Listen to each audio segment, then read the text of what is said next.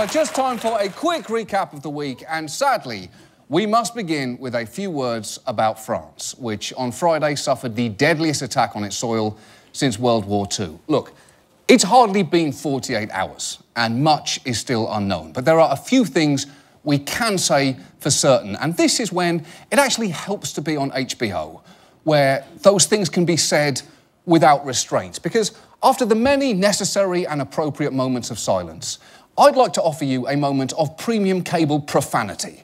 So here is where things stand. First, as of now, we know this attack was carried out by gigantic fucking assholes. Unconscionable, flaming assholes, possibly, possibly working with other fucking assholes, definitely working in service of an ideology of pure assholery. Second, and this goes almost without saying, fuck these assholes. fuck them, if I may say, sideways.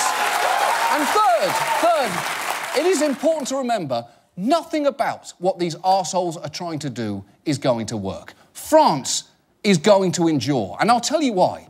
If you're in a war of culture and lifestyle with France, good fucking luck.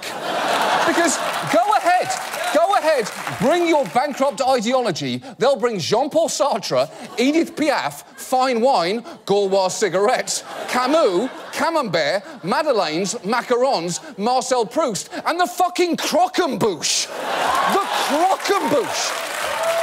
You just you just brought a philosophy of rigorous self-abnegation to a pastry fight, my friend.